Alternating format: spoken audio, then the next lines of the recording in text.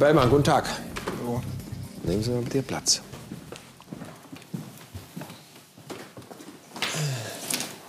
Vor Gericht müssen Sie die Wahrheit sagen. Wer was Falsches sagt, macht sich strafbar. Vorsorglich 55 StPO. Sie müssen auf einzelne Fragen nicht antworten, wenn Sie sich selbst belasten könnten. Ja, ist mir bekannt. Harald Bellmann, 27 Jahre alt. Sie wohnen in Nürnberg. Sie sind ledig, Besitzer eines Imbissstands. Verwandter oder Verschwäger mit dem Angeklagten sind Sie nicht. Sie wissen aber, was ihm vorgeworfen wird. Na klar, das weiß bei uns jeder. Ja, der Kleine soll den Albert vergast haben, aber pff, ich bin echt, ich bin echt erstaunt. Ich dachte eigentlich, dass das ein ganz ordentlicher Kerl wäre, aber pff, dass er so eine linke Nummer abzieht. Harry, was erzählst du denn da? Ich dachte, du wärst mein Freund. Stimmt, das sind Sie befreundet. Naja, ich sag's mal so, ich habe ihn halt ein bisschen unter meine Fittiche genommen. Ja, wie er damals zu uns auf den Platz gekommen ist, da, war er, da hat er halt keinen Anschluss gefunden und da hat er mir ein bisschen leid getan. Ja, und dann ist er halt immer zu mir zum Quatschen gekommen und dann habe ich ihm halt ab und zu meine Wurst ausgegeben. Eine Wurst ausgegeben. Ist ja ein Wunder, dass der noch lebt. Ja, jetzt fang halt du nicht schon wieder mit dem Scheiß an da. Was heißt mit dem Zeug? Womit, wenn ich fragen darf? Tja, Herr Richter, ich habe auch mal diesen Fehler begangen und habe bei Harry eine Wurst gekauft. Aber hören Sie auf, nachdem ich die gegessen hatte, kam ich den ganzen Tag nicht mehr von der Toilette runter. Hinterher stellte sich nämlich raus, dass sein Kühlaggregat kaputt war. Und allen Leuten hat er nämlich die schlechte Wurst verkauft. Und das geht ja bei uns überhaupt nicht. Ja, ich sehe ein, das war ein Riesenfehler. Ich wurde dafür auch bestraft. Ich habe meine Konzession verloren.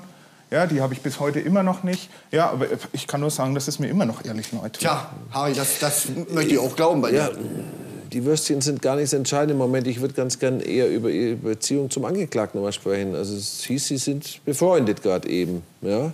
Ähm, haben Sie gewusst, warum der Angeklagte sich da auf dem Platz aufgehalten hat? Ja, wahrscheinlich meinen Sie wegen der Kleinen. Ja, ich habe das schon gewusst. Sorry, Albert, aber ich habe ihm versprochen, dass ich das nicht erzähle.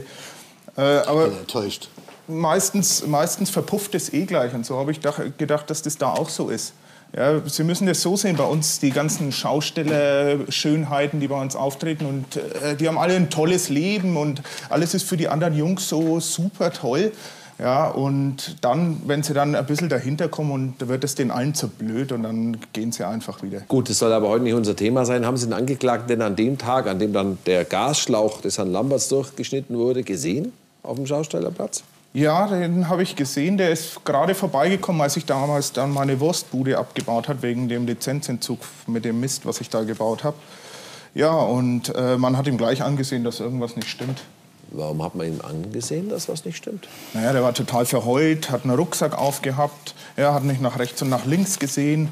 Ja, und äh, ich habe ihn mehrmals gerufen, bis er mich überhaupt registriert hat. Und wie viel Uhr waren das? Hm, Ich würde so sagen gegen zwölf. Er hat gesagt, er kommt gerade von Lilly, aber da hat er ganz schön, übers, äh, ganz schön vom Leder gezogen dann. Aha. Was hat er genau gesagt? Ja, äh, er hat gesagt, dass der Albert die zusammen erwischt hat. Ja, und ich habe ihn dann natürlich versucht, ein bisschen zu beruhigen. Habe ihm in den Augen genommen, habe gesagt, Mensch, du, es gibt noch andere Mädels. Ja, vergiss die, geh nach Hause. Und auf einmal hat er mich so angestarrt mit so einem riesen Blick und hat dann gesagt, ah, sowas lässt das nicht, sich nicht gefallen und der lässt sich von ihm nicht das Leben versauen. Ja, und der wird ihm schon noch fertig machen oder solche Sachen. Harry, ich dachte, du wärst mein Freund. Natürlich war ich fix und alle und hatte eine Stinkwut auf den Lamberts. Aber ich habe nie gesagt, dass ich ihn fertig machen würde. Also wissen Sie was? Ich glaube nicht, dass der Zeuge lügt. Das haben Sie ja wohl gesagt. Und das glaube ich auch. Ja, wie stehen Sie denn eigentlich zu dem Albert Lamberts, wenn ich fragen darf? Tja, also für mich und für uns ist der Albert der Boss. Also der ist ja auch sehr einflussreich bei der Schaustellervereinigung, wie Sie wahrscheinlich wissen. Und ja, äh, der hat echt was auf dem Kasten. Also ich sage immer, der Albert, der ist hart, aber der ist auch sehr fair. Ja, also ich habe echt höchsten Respekt vor ihm. Tatsächlich. Da brauchen Sie gar nicht so blöd fragen. Also Entschuldigung, äh, Herr Verteidiger fragt nicht blöd. Hm? ja, es ist klar, dass er jetzt auf die Lebensmittelkontrolle da hinaus will. Ja, aber äh, ich habe meinen Fehler eingesehen. Der Albert, der musste so handeln. Ja, und für mich ist das gegessen. Ja, ich muss doch ein wenig schmunzeln, denn mich wundert es, wie gleichmütig Sie jetzt hier über den Herrn Lamberts reden. Ich meine, schließlich war ja die Konzession, die Sie verloren haben, ja nicht das Einzige, was er gemacht hat, oder? Ich habe keine Ahnung, was Sie jetzt von mir wollen. Ach. Also, Ach, Stichwort Motorrad? ja, da gab es ein kleines Problem. Also, Kleines Problem. ja, der, der Albert, der hat mir das Motorrad konfisziert, ja, äh, weil ich, er hat mir einen Privatkredit gegeben und ich war halt mit den Raten etwas im Wie, Rückstand. was heißt konfisziert? Er hat sich Ihr Motorrad einfach so ohne Ihr Einverständnis geholt. Ja, schon so. Und Sie hatten keine Vereinbarung über das Sicherungsübereignung oder sowas. Nö. Naja, so ganz legal ist es. Man kann ja nicht einfach äh, ein fremdes Eigentum sich aneignen und das dann konfiszieren nennen, oder? Na gut, Herr Richter, Sie werden das nicht verstehen. Sie sind nicht von unserer Branche. Das hat überhaupt nichts mit der Branche zu tun. Das hat was mit Gesetzen zu tun. Ja? Und da steht ganz klar drin, Eigentum ist Eigentum. Ja, das mag schon sein. Aber in, auf, in, bei uns Schaustellern regelt man so eine Sache unter uns. Na? Super. Und wenn er sich bei mir einen Kredit holt, sagt, er kann ihn nicht zurückzahlen, kurze Zeit später kauft er sich ein neues Motorrad, da ist doch logisch, dass ich mir das als Pfand hole. Nee, das ist nicht logisch. Weil an die Rechtsordnung müssen Sie sich genauso halten wie andere Menschen auch. Ja, Herr Richter, Sie müssen das verstehen. Er hat schon irgendwo in der Sache, regeln wir das halt bei uns so. Ja, und eigentlich habe ich immer die Schlüssel auch eher dann freiwillig gegeben. Ja, ich hätte halt einfach meine Raten vom Kredit zahlen sollen, dann wäre das Ganze erledigt gewesen. Ja, Sie tun hier so ganz lässig, aber in Wirklichkeit war doch das Motorrad das Allerwichtigste für Sie. Ich bitte Sie. So sehr, dass Sie so um 17 Uhr sogar zurückgegangen sind. Aber sagen Sie dem Gericht doch mal bitte, warum gerade an diesem Tag das Motorrad so wichtig für Sie war. Ja, ich wollte zum Motorradtreffen mit meinen alten Moped-Kumpels gehen. Genau. Und diese Motorradkumpels waren in diesem Zusammenhang in derselben Stadt wie Sie als Schausteller mit Ihrer Wurstbude. Und es war total wichtig für Sie, weil Sie dort in der Stadt eingetroffen waren und ohne Motorrad da standen. Und da wollten Sie auf dicke Hose machen. Vielleicht schon, ja. Und? Haben Sie Ihr Motorrad bekommen? Nee, der Albert hat die Schlüssel natürlich nicht rausgerückt. Das war peinlich für Sie, oder? Ich meine, ich habe mich ja mal in der Wohnwagenstadt umgehört bei den Bewohnern. Und die haben mir gesagt, dass Ihnen der Herr Lamberts auf gut Deutsch einen richtigen Einlauf verpasst hat. Und es war so peinlich, dass Sie sich zum Gespött Ihrer ganzen Kumpels gemacht haben. Die waren nämlich auch dabei. Ja, stimmt. Happy war ich natürlich darauf nicht, aber äh, was wollen Sie damit sagen? Also das frage ich mich allerdings auch jetzt, Herr Verteidiger. Ja? Ich meine, der Zeuge hat nachweislich ein astreis Alibi. Er hat an dem Tatabend 15 Kilometer vor der Stadt ja, mit seinen Motorradskumpels gefeiert, weil er dort zelten wollte. Ja, eben. Ja, äh, meinen Sie, nur weil mir der kleine leid tut, halte ich den Kopf für den hin? Also echt. Waren Sie denn tatsächlich an dem Abend auf dem Motorradtreffen? Ja, klar. Ich frage nur so, weil ich die Zuverlässigkeit dieser sogenannten Alibi-Zeugen stark bezweifle, Herr Staatsanwalt. Warum das? Das kann ich Ihnen schon sagen. Weil meinen Ermittlungen zufolge Unmengen an Alkohol dort getrunken wurde. Ja, Ja. wie üblich. Ah, hallo? Ja, also da treffen sich ein Haufen Biker beim Campen vor der Stadt. Was denken Sie? Denken Sie, da trinken wir ein bisschen Limo oder was? Nee, aber meine Nachforschungen haben auch ergeben, dass dort sogenannte Komasaufwettbewerbe stattfinden. Und da waren alle so prall, dass sie gar nicht mitbekommen haben, wie sie sich irgendein Motorrad von einem ihrer Kumpels geschnappt haben und zurück zum Platz sind. Ich weiß gar nicht, wie Sie auf so einen Scheiß kommen. Ja, das würde ich allerdings auch gerne wissen. Ich habe doch bereits vorhin schon erwähnt, Herr Staatsanwalt, dass da draußen eine Dame sitzt, nämlich die Frau Schindhell. Und der gehört eine andere Schaustellerbude, nämlich das Labyrinth des Grauens. Okay. Und die will gesehen haben, dass dieser Herr Zeuge nochmal zurückgekommen ist, und zwar am Tatabend, Herr Staatsanwalt. Ja, okay, machen Sie weiter. Ja, ich frage mich schon auch, wie hat diese Zeugin eigentlich Sie ausfindig machen können? Ja, Im Gegensatz zum Herrn Staatsanwalt bin ich im Vorfeld zu jedem der Schausteller hingegangen, habe dort meine Visitenkarte hinterlassen und darum gebeten, wenn irgendwelche wichtigen Hinweise kommen, mich anzurufen. Ich meine, schließlich geht es um einen versuchten Mord. Wissen Sie was, jetzt müssen Sie wirklich langsam aufpassen mit Ihren Äußerungen hier. Im Gegensatz zum Herrn Staatsanwalt. Jetzt werde ich nicht mehr was sagen. Das ist doch mehr als dubios, wenn plötzlich in letzter Sekunde in einem solchen gewichtigen Kapitalverfahren irgendeine Zeugin auftaucht. Da sollten Sie auch vorsichtig sein. Ja? Entweder ist sie eine Wichtigtuerin oder eine Lügnerin. Ich brauche überhaupt nicht vorsichtig sein, denn diese Zeugenaussage wird mit einer DVD untermauert, Herr Das werden wir Staatsanwalt. dann schon sehen. Das ist doch eine DVD. Ja, haben mir ist gesagt- drauf zu sehen auf der DVD? Das weiß ich selbst noch nicht. Sie hat mir gesagt, sie hat eine DVD, die Genau. klar beweist, dass dieser Herr am Abend noch mal zurückgekommen sein muss. Gut, also selbstverständlich werden wir die Dame dann als Zeugin vernehmen. Ob sie dann eine Wichtigtuerin ist, können wir ja dann noch beurteilen. Im Moment noch Fragen an den Herrn Bellmann. Sie sind aber noch nicht entlassen. Nehmen Sie einfach mal hinten Platz. Heike Schindhelm, bitte. Kann sein, dass ich Sie noch brauche.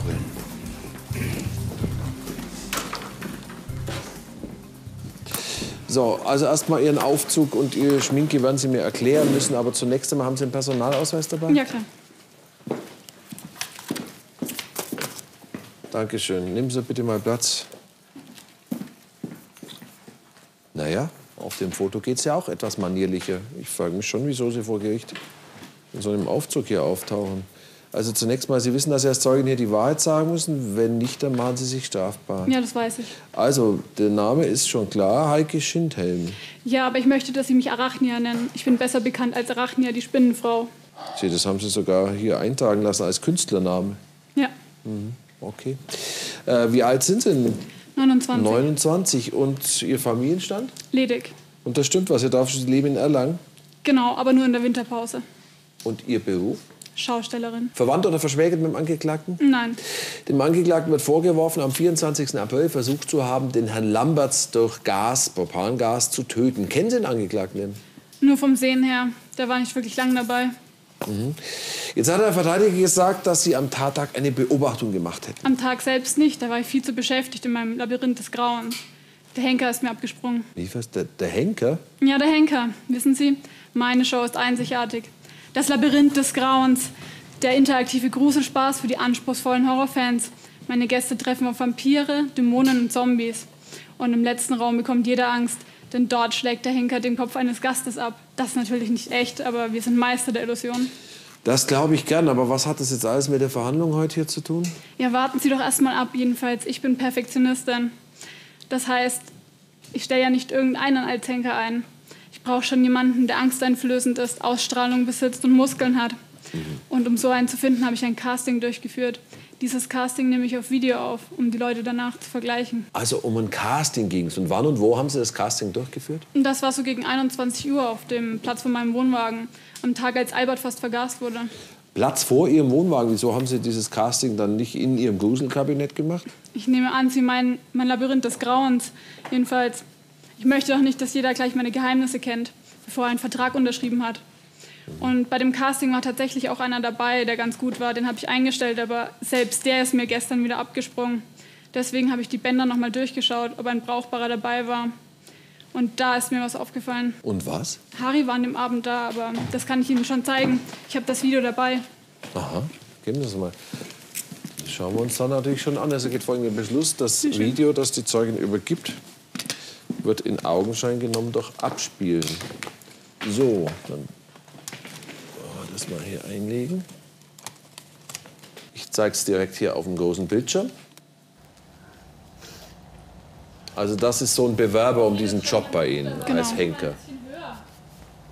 Noch ein bisschen höher. Du willst doch jemand den Kopf abschlagen und kein Brot schneiden. Noch ein bisschen höher. Stopp, stopp, Herr Vorsitzender. Ja? Da.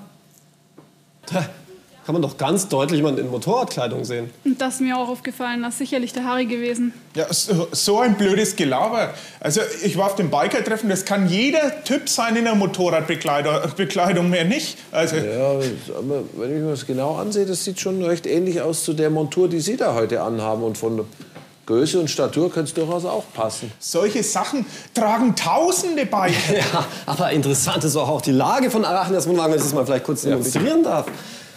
Hier befindet sich Arachnias Wohnwagen. Und zwar in derselben Straße bzw. Reihe wie der Wohnwagen von Herrn Lamberts. Und man sieht doch auf dem Video ganz deutlich, wie ein Motorradfahrer in Richtung vom Wohnwagen von Herrn Lamberts geht. Das ist doch totaler Quatsch. Ah, genau. Das, Ja, vielleicht kann man sich diese Person auch mal näher ranzoomen. ich war das nicht. Der, also, mal, das das, äh, mir will hier irgendjemand was in die Schuhe schieben. Ihr könnt mir doch gar nichts nachweisen. So, jetzt da müsste das mal näher hergehen. Und was sehe ich da auf dem Helm?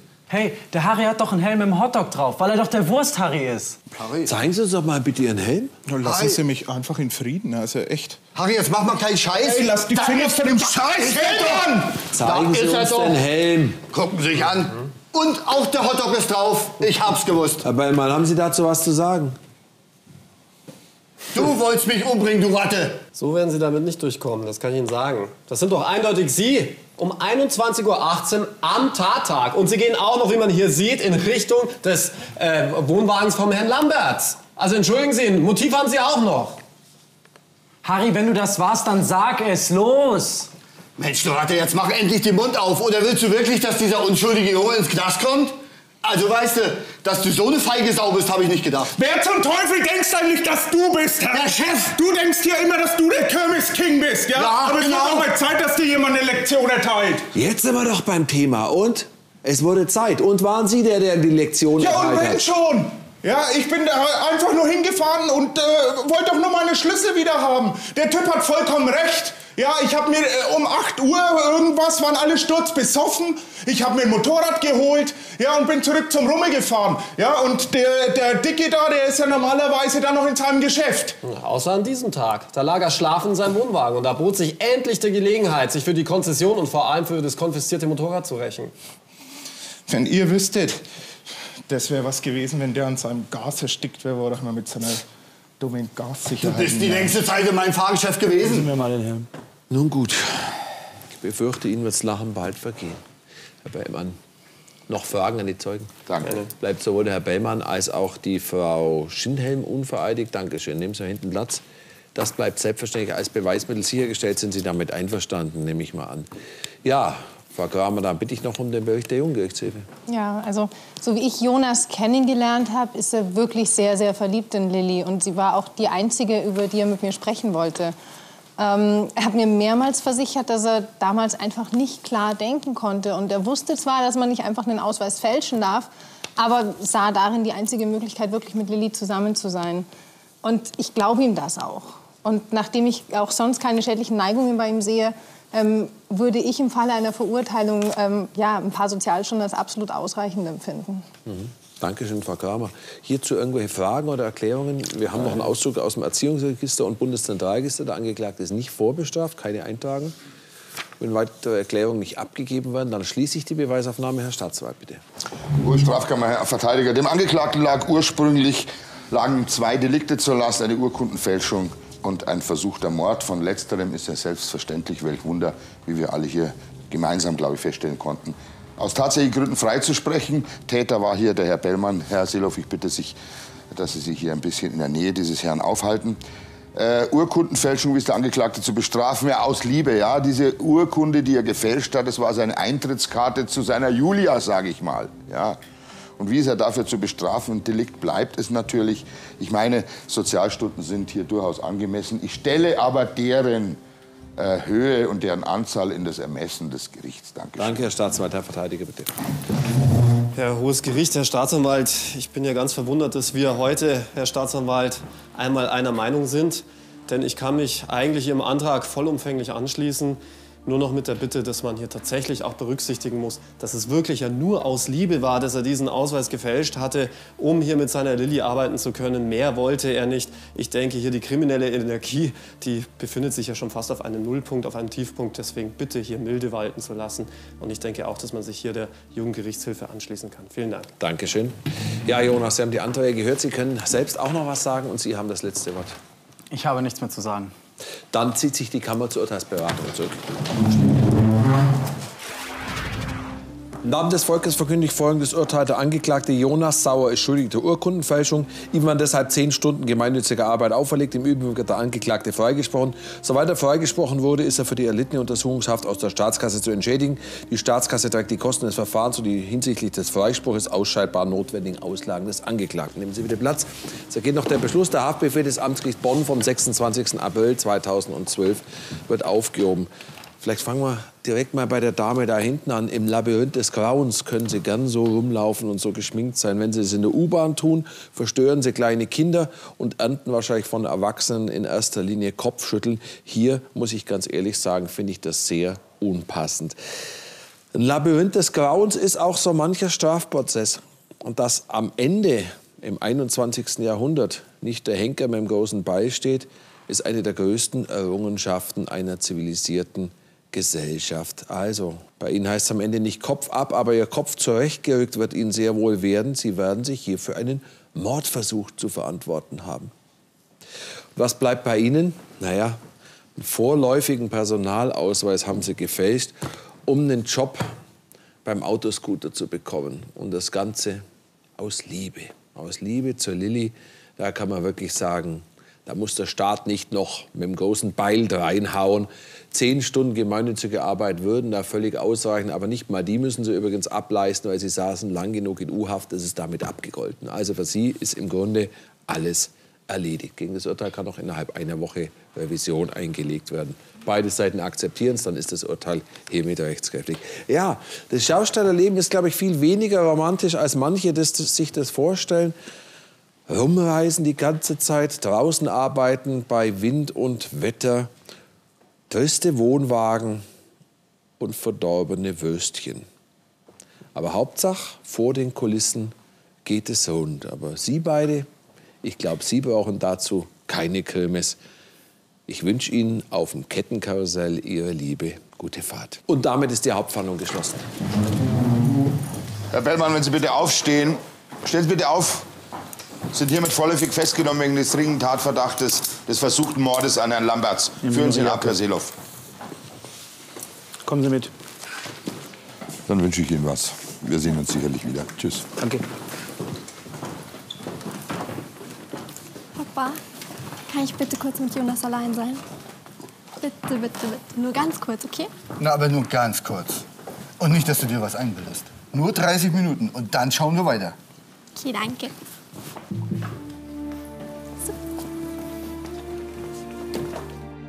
Harald Bellmann wurde wegen versuchten Mordes, gefährlicher Körperverletzung, falscher Verdächtigung und uneidlicher Falschaussage zu einer Gesamtfreiheitsstrafe von zehn Jahren verurteilt.